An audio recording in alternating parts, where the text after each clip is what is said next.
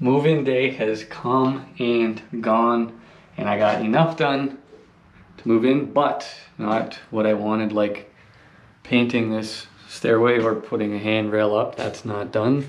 Painting this room or changing the door, not done.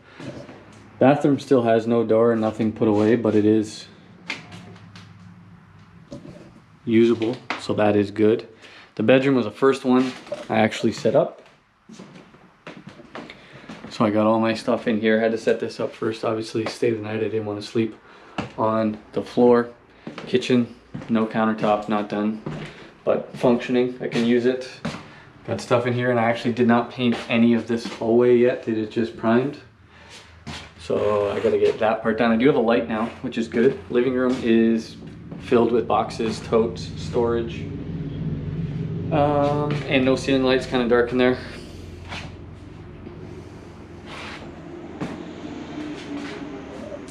Like this, but worse. This is the office, and in the office, I mean, we're just, we've got stuff everywhere.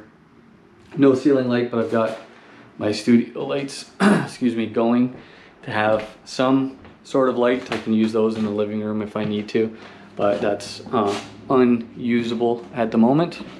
And then obviously we got more stuff in the hallway as well. So I'm in, but not even close to finish.